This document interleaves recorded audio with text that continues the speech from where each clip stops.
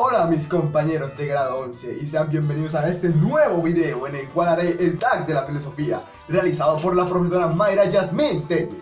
En este tag responderé tres preguntas donde dos son hechas por la profesora y una por un estudiante de mi grado, en este caso por Mauricio Plata Camacho. La primera pregunta es, ¿qué es la muerte para usted? Bueno, para mí la muerte es como la etapa final de un ser en su forma carnal o su forma física ya que por alguna consecuencia, razón o circunstancia, el cuerpo del ser no es capaz de realizar sus necesidades básicas para vivir y por ende muere. Posterior a esto, la parte espiritual del ser logra ser liberada de la parte física del ser, logrando llegar a una mejor vida o en este caso, según mis creencias, al cielo.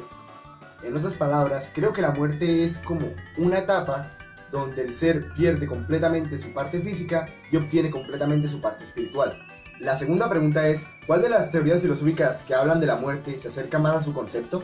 Creería que la teoría que más se acerca a mi concepto de la muerte sería la que menciona Platón, la cual menciona que un ser al morir, su alma es liberada de su cuerpo, en la cual obtiene su purificación más alta y logra irse al mundo de las ideas, o pues según mis creencias, al cielo. Bueno, la tercera y última pregunta es hecha por nuestro amigo Mauricio Plata. Un saludo.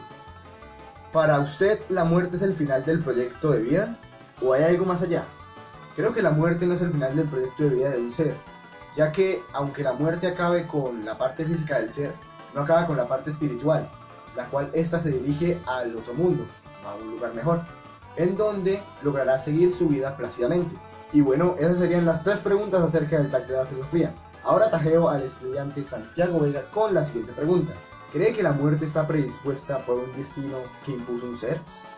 Bueno amigos, este fue el video de hoy. No olvides darle like, suscribirte al canal de la profesora y comentar acerca de que si estás de acuerdo con mis respuestas del TAP. Soy Daniel León y nos vemos a la próxima.